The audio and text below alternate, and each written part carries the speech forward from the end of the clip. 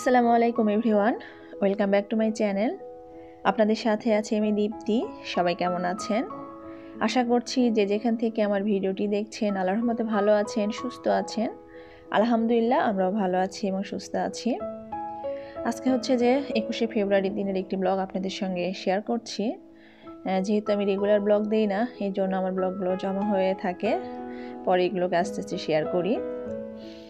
তো এটা হচ্ছে যে দুপুরবেলা নাস্তা সেরে রান্নাঘরে এসেছি। মাংসটা আগে রান্না করে নিচ্ছি আর এই চুলায় হচ্ছে যে রোস্ট করব। তো সেজন্য মুরগিগুলো সব আগে একটু করে ফ্রাই করে নিচ্ছি। কোনো মানে রেসিপি রেসিপি শেয়ার করছি না। জাস্ট কী কী করেছি তারই কিছু অংশ বিশেষ আপনাদের সঙ্গে শেয়ার করছি। তো মুরগিগুলো আমার ফ্রাই করা শেষ। এখন হচ্ছে যে মশলাগুলো কষায় নেব। আর এগুলো সব হচ্ছে যে আমার মা আমাকে রেডি করে দিচ্ছে আর আমি রান্না করছি। মা যে কদিন ধরে আসছে, সব কাজেই সেই হেল্প করছে। আমি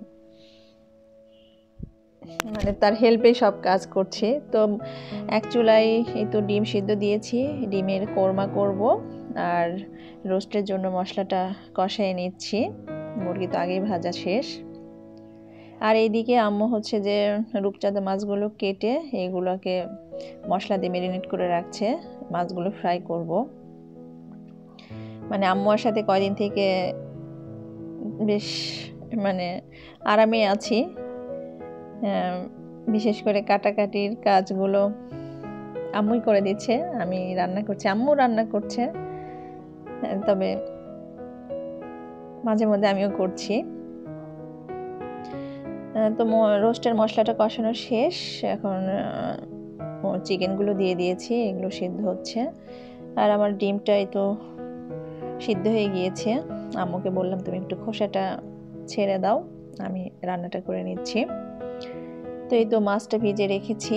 আর আমার রোস্টটা হয়ে এসেছে। এখন এর মধ্যে একটু ঘি দিয়ে নিচ্ছি। এটা রান্না শেষ, এটা নেমে ফেলব। তো রান্না করতে এসে হচ্ছে যে বিপাকে পড়ে গিয়েছিলাম। রান্নার সবচেয়ে বড় যে উপাদান সেটাই আমার ছিল না।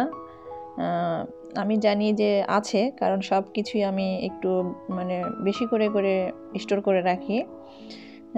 তো রান্না করতে এসে দেখি যে লবণ নেই মানে এক ফোঁটাও লবণ নেই। আগের দিন রাতে আম্মু বলল যে লবণ শেষ। তো আম্মুকে আমি বললাম যে লবণ আমার আছে, কালকে এখন তো রাতে আর লাগবে না, সকালে যখন রান্না করতে আসবে তখন বের করে দিব। তো সকালে নাস্তা সেরে একটু সকাল সকালে রান্নাঘরে ঢুকলাম যেহেতু একটু রান্না বান্না বেশি করব। আর বিকালে একটু বের হওয়ার মানে প্ল্যান ছিল। তো লবণ নেই, এখন তো আর কোনো রান্না করাই সম্ভব নয় হবে না। তো আমি যে এলাকায় থাকি, এই এলাকায় আবার হচ্ছে যে কোনো প্রকারের ডিপার্টমেন্টাল স্টোর নেই। এখানে শুধু একটাই সুপার শপ সেখান ছাড়া আর কোথাও কিছু পাওয়া যাবে না।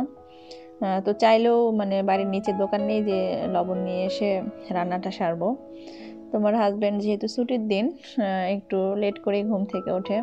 ঘুম থেকে উঠে নাস্তা টাস্তা সেরে তারপরে বারোটার সময় বের হলো আরও যা টুকিটাকি বাজার ছিল সেগুলো সব কিছু নিয়ে আসার জন্য তো প্রায় একটার সময় রান্নাঘরে ঢুকেছি।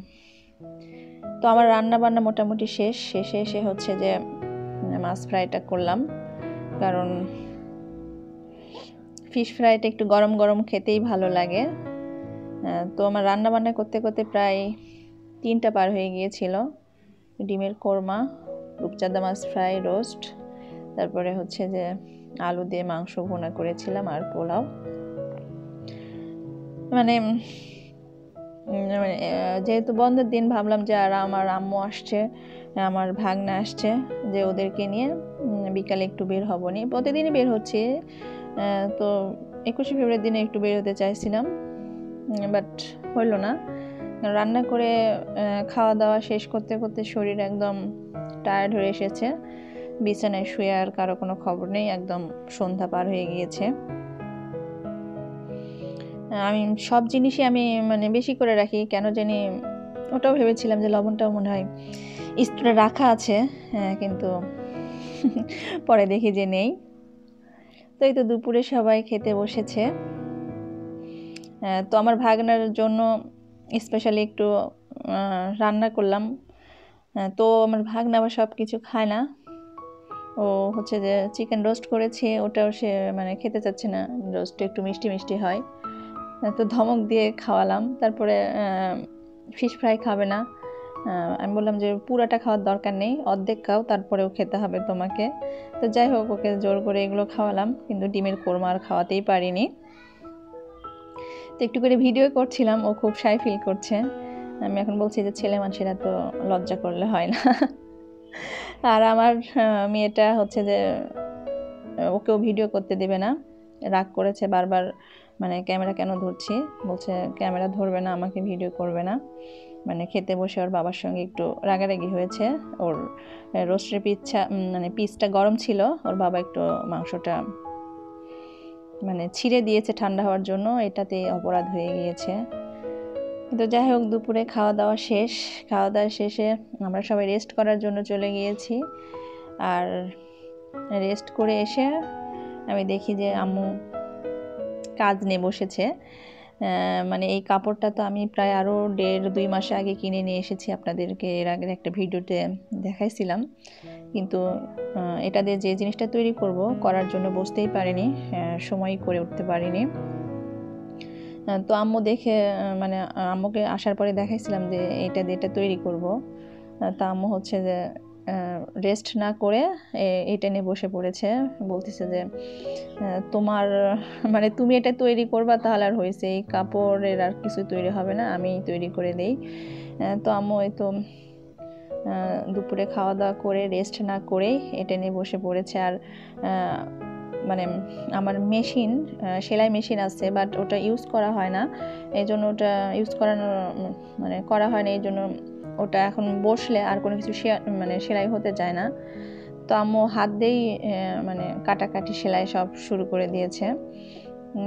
মানে আম্মু টেলারিং কাজ পারে না, কিন্তু যে কাজটুকুই করে, খুব নিখুঁতভাবে ভালোই করতে পারে।